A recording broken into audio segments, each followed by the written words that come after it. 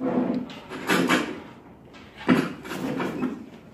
반갑습니다. 저도 오늘 국감 이야기를 좀 하고 싶은데요. 언론에서 연일 그랬습니다. 아마 이번 국감은 이재명의 인사청문회가 될 것이다. 라고 연일 떠들면서 국민들에게 기대감을 주었습니다. 뭔가 밝혀지지 않을까, 뭔가 흑막이 드러나지 않을까 생각을 했었는데, 역시 김 빠진 콜라였습니다.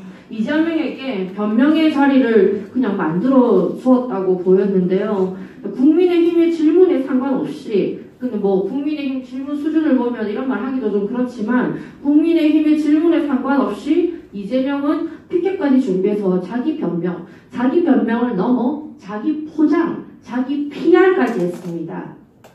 이렇게 여유 있게 하는데 이 위원장은 질문 의원의 의사와 상관없이 편파적으로 이재명에게 계속 발언 시간을 주었고 또 이것을 민주당에서 받아서 기승전 박근혜 이명박 다수로 돌리고 아주 환상적인 공수 팀웍을 보았습니다. 근데 반면 나름 잘 싸운다고 하는 국민의힘 김모 의원은 정말 TV를 볼 때 분노를 넘어 안타까웠습니다. 7분이나 할애한 질문은 그분, 그분, 그분에 대한 장문 시간도 아니고 그분에 대해서 6분 30초를 말하고 고작 30초 할애해서 질문을 했는데 그 질문 내용이 민주당 관련한 보좌진이 지금 이러 이렇게 쓴소리를 하고 있다. 거기에 대해서 어떻게 생각하느냐? 아니 이것에 대해서 왜 궁금합니까? 이것은 확실한 사망 선고입니다. 이 질문으로 해서 이제 국민의힘은 진짜 죽었구나. 쓸모가 없구나. 라는 것을 국감장에서 바로 보여주었습니다. 앞서 여러분 말씀 언급되었듯이 우리 공화당이 핵심으로 주장했던 인허가비, 용적률 변경, 초과 이익 환수 조항 삭제, 턱없이 낮은 토지 매입가, 분양가 상한제 미도입 등 이런 확실한 주제가 아니라 이런 감성파리 질문으로 이재명을 목격할 수 있을 것이다 라고 생각하니 아니라고 미온적인 사고가 문제인 것입니다.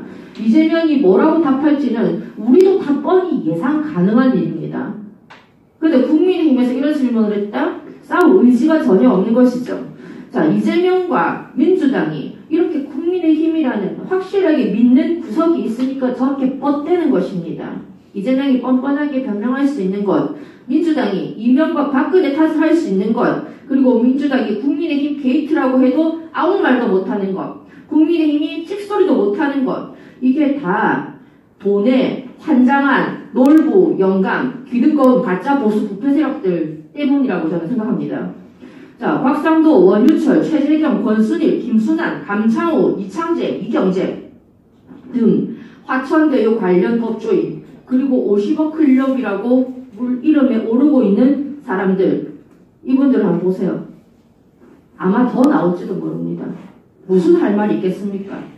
국민에게 무슨 할 말이 있겠습니까? 억울하다고요. 우리보다 좌파들이 더 더럽다고요. 우리 조금 받았는데 좌파들이 다 챙겼다고요. 주범은 뭐 저쪽이고 우리는 사법에 불과하다고요. 그런 웃기는 말씀이랑 머릿속에 떠올리지도 마시기 바랍니다. 지금 보니 대한민국의 정의도 공정도 법치도 다 이 가짜 보수들이 망치는 것이었습니다.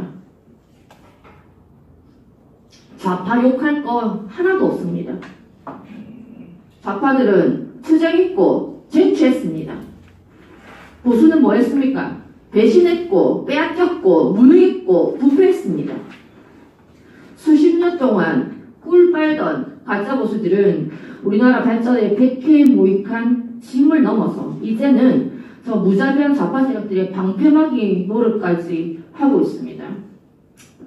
국민의힘은 어, 동생 흥부에 뺨을 때리고 밥을 뺏고 제비다리를 부수고 하는 60보만 그득한 놀부와 같아 보입니다.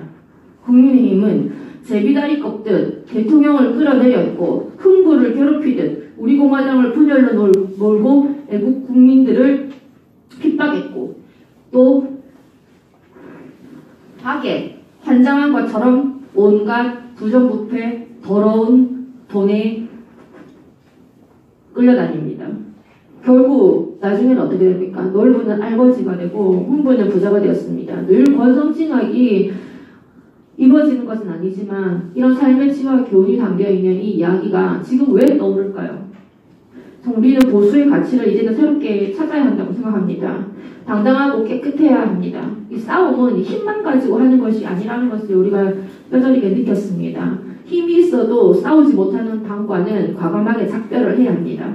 이별할 때 아쉬움은 잠깐이지만 이별하지 못하고 미련에 질질 끌려다니며 무중한 애인과 가진 관계는 골병이 됩니다.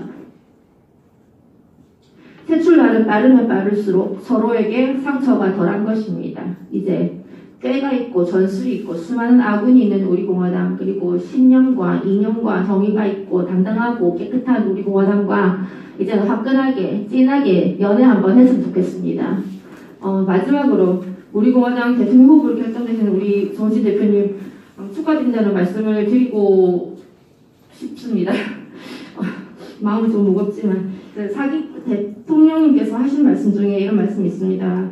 어, 그걸 조금 변형해 보았는데요. 사기 탄핵은 사기 탄핵이라는 절망은 우리를 단련시켰고 우리 공화당이라는 희망은 우리를 움직이게 하였다고 생각을 합니다. 절망을 딛고 희망으로 오늘을 넘어 내일로 그리고 영등포를 거쳐 효자동으로 반드시 갈 수 있도록 우리 전 당원 모두가 힘을 합쳐서 노력했으면 합니다. 우리의 짐을 대표님께 너무 많이 지게 해드린 것 같아서 늘 감사하고 또 죄송한 마음입니다.